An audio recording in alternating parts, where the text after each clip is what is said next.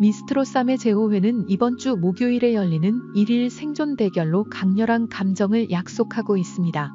특히 이전에 공개된 충격적인 트레일러에서 오유진과 배아현 간의 대결이 예고되어 긴장되고 매력적인 분위기를 조성하고 있습니다. 1라운드 진과 2라운드 진 관객들이 익숙한 이름으로 불리는 두 참가자는 장윤정 심사위원의 평가에 따르면 미리 예고된 결승전에서 맞붙게 됩니다.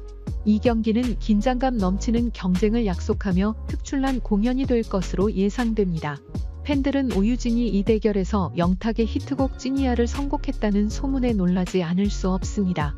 이는 전통적인 트로트 스타일로 자주 나타나는 그녀에게 있어 도전적이고 흥미로운 선택으로 평가됩니다. 이에 더하여 관객들의 유출 소문에 따르면 오유진은 관객과 심사위원들의 마음을 완전히 사로잡았다고 전해졌습니다. 이 정보가 정확하다면 그녀는 거의 모든 투표에서 압도적인 승리를 차지한 것으로 보입니다. 후에 이 놀라운 승리에 오유진은 영탁에게 감사의 마음을 표현했습니다.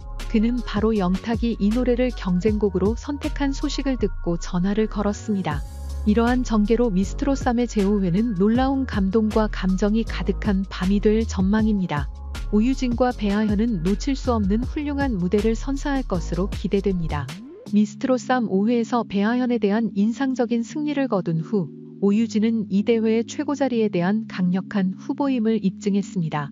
그는 뛰어난 무대 퍼포먼스뿐만 아니라 트로트 예술에 대한 깊은 이해와 다양한 장르에 대한 적응 능력을 보여주었습니다.